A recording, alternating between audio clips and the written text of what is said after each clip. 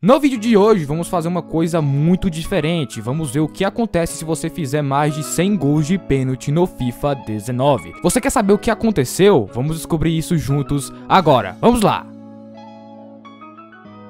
Bom pessoal, antes de começar aqui eu gostaria de agradecer muito pelo apoio da OneFootball. Eles estão contribuindo muito para o crescimento do canal. E lembrando que a OneFootball é o maior aplicativo de futebol do mundo, então se você gosta muito de futebol, você tem que baixar a OneFootball. Basta clicar no primeiro link da descrição, ele está disponível para iOS, Android e Windows Phone, e é totalmente gratuito, então vá lá e aproveite. Bom pessoal, no vídeo de hoje trago para vocês meio que uma loucura que fiz no FIFA 19. Eu nada mais nada menos bati mais de 100 pênaltis no jogo, aliás, eu bati ao todo mais de 200 pênaltis. Algo inimaginável galera, uma coisa assim quase impossível de se pensar e de se fazer também. Mas eu queria fazer essa loucura para começar essa série com chave de ouro. Tenho certeza que vocês ficaram surpresos com o tema do vídeo e tenho certeza também que vocês ficaram muito curiosos para saber o que aconteceu nessa disputa de pênaltis. Pois bem, galera, eu fiquei mais ou menos jogando por mais de uma hora, só batendo pênaltis. Claro que não fiz essa disputa sozinho, eu estava jogando ali com dois controles. Um com o controle e com o teclado ali do meu computador. Porque fazer essa experiência com o computador seria praticamente impossível, galera. E vale lembrar que fiquei mais ou menos uma hora batendo pênaltis. Eu não me lembro quantas horas eu gastei para fazer esse experimento, mas foi nessa base aí, galera, de uma hora a uma hora e meia.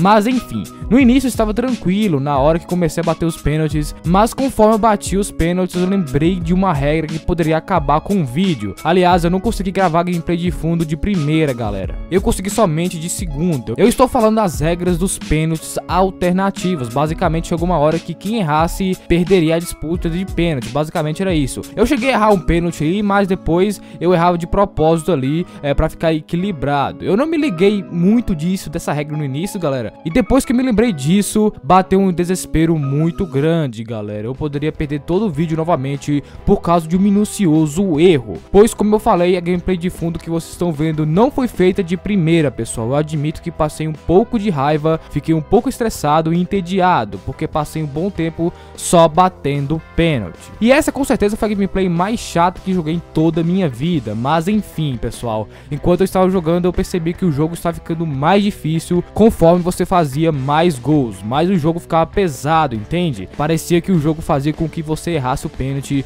o mais rápido possível. Eu não sei dizer se isso foi de fato o jogo ou foi pressão psicológica, mas a sensação que eu tinha era essa, que os jogadores tinham mais tendência a errar as cobranças de pênaltis. Quanto mais eu chegava na meta de 100 gols de pênaltis, eu ficava ainda mais tenso. Eu pensava a todo momento que iria errar um pênalti. E consequentemente perder o vídeo e perder o experimento, né? Sério, galera, a tensão que eu passei era muito grande. Então, de maneira alguma, eu aconselho vocês a fazer esse tipo de coisa em suas casas, beleza? Porque teve um momento ali que meu coração estava saindo pela boca, pessoal. Como eu falei, eu pensava que toda hora iria errar o pênalti. E um fato curioso é que eu tinha a ideia inicial de cobrar mais de mil pênaltis. Sério, pessoal, essa era a minha ideia inicial. Mas com certeza eu não iria aguentar tanta pressão até o fim. Eu iria passar muita ansiedade e nervosismo. Então eu preferi fazer somente 100 gols. Quem sabe algum vídeo futuro eu traga isso pra vocês, beleza? E quando eu estava chegando na meta de 100 pênaltis batidos, galera, eu percebi que o marcador estava meio bugado ali, galera. Parecia que quando você acertava o pênalti, o marcador falava que você tinha errado. A barrinha ali ficava vermelha. Eu achei meio estranho isso.